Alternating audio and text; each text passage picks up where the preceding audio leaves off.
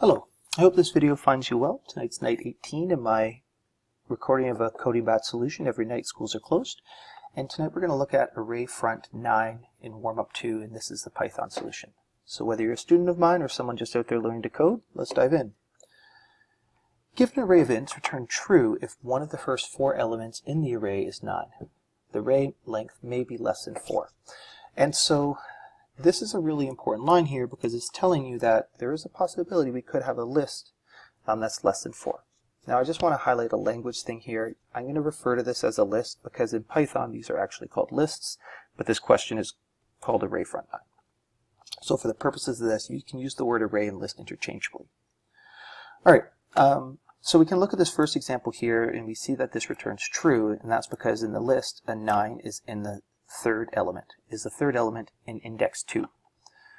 Um, and the second example returns false because though there is a 9, it appears in the fifth element. And the final example returns false because there is no 9.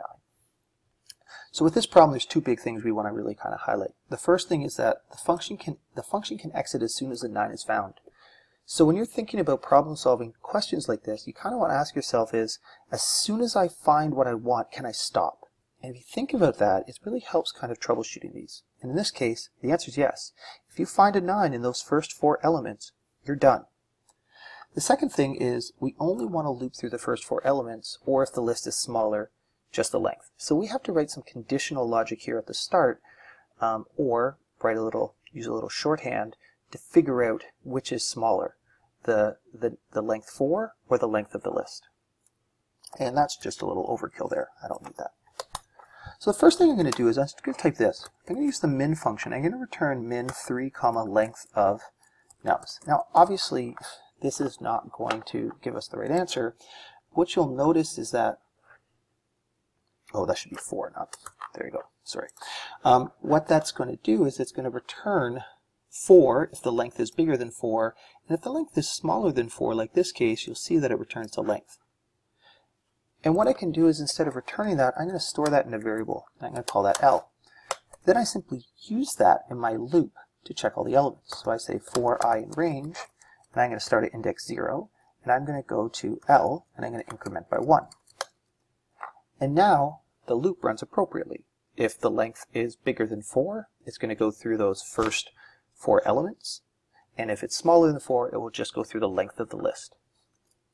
And so now what I'm going to do is I am going to put an if statement, and I'm going to say if nums at i is equivalent to 9, and if that's the case, I'll return true, and otherwise I will return false.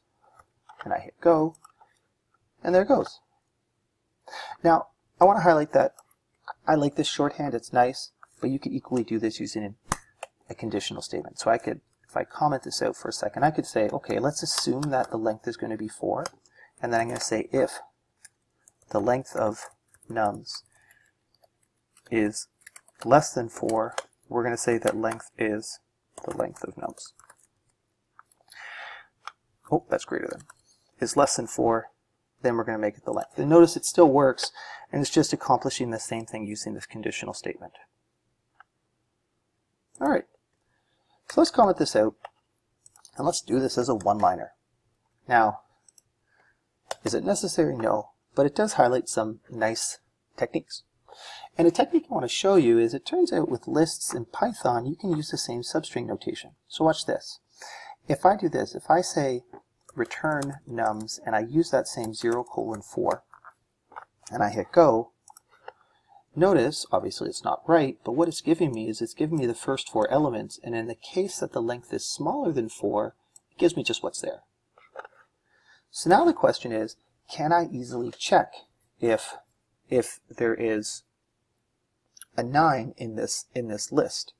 And the answer is yes. There's a lovely shorthand notation in Python using it called the in notation. And if I say in 9 in nums 0 to 4, that's just simply saying is, is there a 9 in the first four elements? And there it is.